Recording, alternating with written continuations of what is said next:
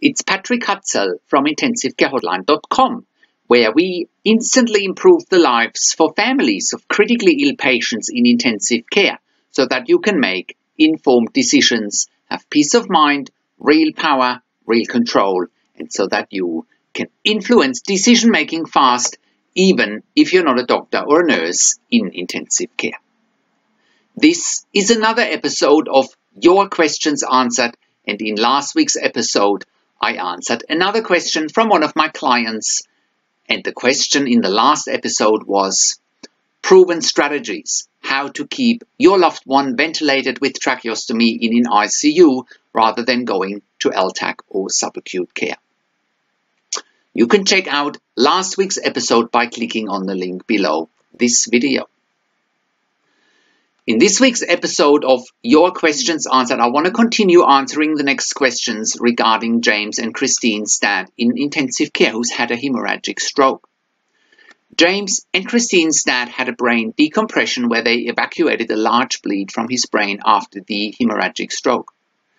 And their dad also underwent a craniectomy, which is a removal of the skull, to decrease the brain pressures after the bleed. James and his sister Christine were getting their dad in one of the best hospitals in the United States, the Cleveland Clinic in Ohio. In the meantime, their dad was getting a tracheostomy because he couldn't be weaned off the ventilator and the breathing tube. He also had ongoing seizures due to the stroke and his anti-seizure medications needed to be optimized so he could wake up and progress to neurology rehabilitation. So in today's episode of Your Questions Answered, I'm talking to James again while his dad was trying to be weaned off some seizure medications to get him more awake. James can also see the limitations in terms of the breathing tube or endotracheal tube his dad was still having and how he would benefit from a tracheostomy. James wants to know what's the best course of action in how to get his dad more awake how to manage his anti-seizure medications without being prone for seizures. So today's consulting and advocacy session is another excerpt from various one-on-one phone and email consulting and advocacy sessions with me. And the topic in today's Your Questions Answered episode as part of this series is how to manage seizures in intensive care after a hemorrhagic stroke. You can also have a look at previous episodes of this series of one-on-one consulting and advocacy questions with James and Christine if you're clicking on the link links below this video. And if you are watching this on YouTube, just click on the links below this video and it'll get you to our website with all the other free resources and with all and with access to all of the other parts of this consulting and advocacy session. So, James writes, Hi Patrik, as you know, Dad had the hemorrhagic stroke a couple of weeks back and he's still ventilated with a breathing tube he doesn't like. The CT scan of the brain suggests a large bleed which they have evacuated and they've also done a craniectomy to limit the brain pressures. He's still having regular seizures. My father is currently on Keppra and Dilantin to prevent the seizures. They didn't give him the Keppra last night as he was more alert. I gave it to him this morning and he doesn't seem as responsive. I will find out the dose he's on. Obviously, we need him to wake up so we can get him off the ventilator. The blood pressure medications to the heart were removed to regulate his blood pressure and machine to monitor his fever was removed as well. My dad is not very responsive at the moment. My dad is also on sodium chloride Keppra and some antibiotics. They now discontinued the Dilantin. He seems like he's sleepy but still moving slightly. Trying to wake him up because we have to decide on tracheostomy and feeding tube by tomorrow. What are your suggestions and thoughts? So here is my response. Hi James, please see, here is my response. So you're saying your father is not very responsive. So what does that exactly mean? Is he opening eyes? Is he still trying to pull out the breathing tube? I understand one side, the right side, is paralyzed and is only moving his left side. Can you ask the doctors and the nurses about his GCS or Glasgow Coma Scale? I have attached a picture in relation to GCS. I would imagine your dad's GCS might fluctuate between 5 to 11. Have a look and ask them. If you need clarification around GCS score, we can discuss over the phone. Now, for you viewer, have a look on this website because I put a picture of Glasgow Coma Scale on this page. So just scroll down below this video and you can actually see how you can evaluate a GCS score. So next, James, you're saying your dad is on sodium chloride. So that is a normal standard infusion to keep him hydrated. Then you mention your dad is on Keppra. Now, Keppra needs to be seen in combination with dilantin, also known as phenytoin. Usually one or the other is given to manage seizures in the beginning. I'm glad they took dilantin off and only continue with Keppra.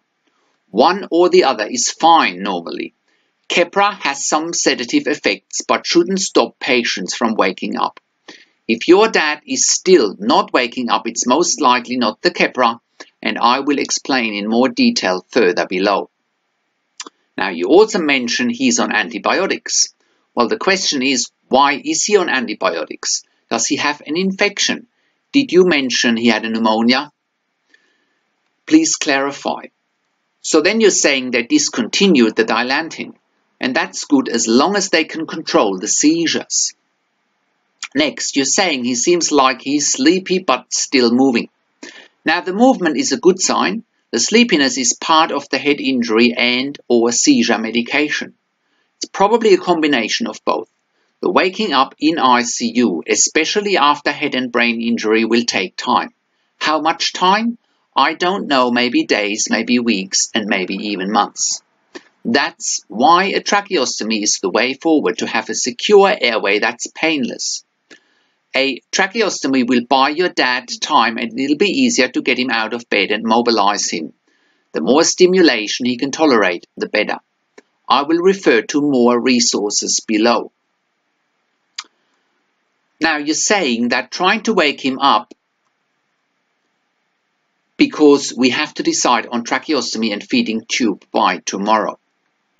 At this stage, James, from what you are describing, if his neurological condition hasn't changed since we last spoke yesterday, and if it's not significantly changing today or tomorrow, I would suggest a tracheostomy because your dad will be more comfortable with it. Do I have any suggestions? Well, other suggestions are to get the helmet fitted so that they can start mobilizing him once he has the tracheostomy. Please also ask them again for his GCS score. Here's a picture below so you can actually look up how you score a Glasgow Coma scale. Now, and then James responds back. Hi Patrik, now my father had a partial seizure on the left, which is his injured side this morning. They started him on Vimpat. They're still weaning the dilantin or phenytoin. He's also still on Keppra. Can you please advise from James? So here is my response. Hi, James. That's not such good news, but also not overly surprising. Again, have they done a CT scan of the brain after the seizures? It also depends how big and how long the seizure lasted. Do you know if they have given your dad some midazolam, also known as Versed, or diazepam to manage the seizures? If they are weaning the dilantin and he's having seizures, they may need to either wean it slower or increase the Keppra. It also depends on how much he's stimulated during the day and also the night. I'm glad to hear he's not, only, not on any inotropes or vasopressors or vasodilators for high or low blood pressure. This again is a good sign and it means he's quote unquote only on one form of major life support, which is the mechanical ventilation.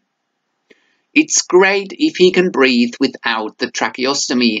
I would be all for it. However, the absence of a spontaneous cough will make it very difficult to protect his airway without the tracheostomy. If they think he will wake up in the next few days and, and can breathe and cough, it would be tremendous. Any questions, please let me know. So here is James's response, response to my email. Hi Patrik, my dad's blood pressure is only 90 over 45 at the moment. It seems too low. His temperature is 99.9 Fahrenheit, which is 37.7 Celsius. His heart rate is 90 and I'm worried and I'm very worried. Can you please advise? So, here is my response. Hi James, yes your dad has a low blood pressure. He may need the inotropes or vasopressors like norepinephrine or epinephrine back or he might need fluid replacement. Remember, as we discussed, it's often two steps forward and one step back. The temperature is slightly up, but not too much. His heart rate 90 is okay. If his temperature and his heart rate keep going up and his blood pressure keeps going down, he might have an infection. Other things to look for are infection markers in the blood, such as CRP and white cell count. Just ask. Let me know when you want to get on the phone again. Best wishes. So, watch out for the next consulting session with James and his sister Christine in the next episode of Your Questions Answered next week. See you then. So, how can you become the best advocate for your critically ill loved one? How can you make informed decisions, get peace of mind, control, power, and influence quickly whilst your loved one is critically ill in intensive care. Well, you get to that all important feeling of making informed decisions, get peace of mind, control, power, and influence when you download your free Instant Impact Report now by entering your email below in your free Instant Impact Report, you will learn quickly how to make informed decisions, get peace of mind, real power, and real control, and how you can influence decision making fast whilst your loved one is critically ill in intensive care. Your free Instant Impact Report gives you in depth insight that you must know whilst your loved one is critically ill or is even dying in intensive care. Sign up and download your free Instant Impact Report now by entering your email below. In your free Instant Impact Report, you will learn how to speak the secret intensive care language so that the doctors and the nurses know straight away that you are an insider and that you know and understand what's really happening in intensive care. In your free report, you will also discover how to ask the doctors and the nurses the right questions. Discover the many competing interests in intensive care and how your critically ill loved one's treatment may depend on those competing interests. How to eliminate fear, frustration, stress, struggle, and vulnerability even if your loved one is dying. You will get five mind-blowing tips and strategies helping you to get on the right path to making informed decisions, get peace of mind, control, power, and influence in your situation you will get real-world examples that you can easily adapt to your and your critically ill loved one's situation. How to stop being intimidated by the intensive care team and how you will be seen as equals. You will get crucial behind the scenes insight so that you know and understand what is really happening in intensive care and how you need to manage doctors and nurses in intensive care, and it's not what you think. Thank you for tuning into this week's Your Questions Answered episode, and I will see you again in another update next week. Make sure you also check out our blog section for more tips and strategies or simply send me an email to support at intensivecarehotline.com with your questions. Also, have a look at our membership site intensivecaresupport.org for families of critically ill patients in intensive care. Or you can call me. Find international phone numbers on the top of the website. Also, have a look at our ebook section and you can also get one-on-one consulting and advocacy with me via Skype over the phone or via email by clicking on the tabs. This is Patrik Hutzel from intensivecarehotline.com and I'll see you again next week in another update.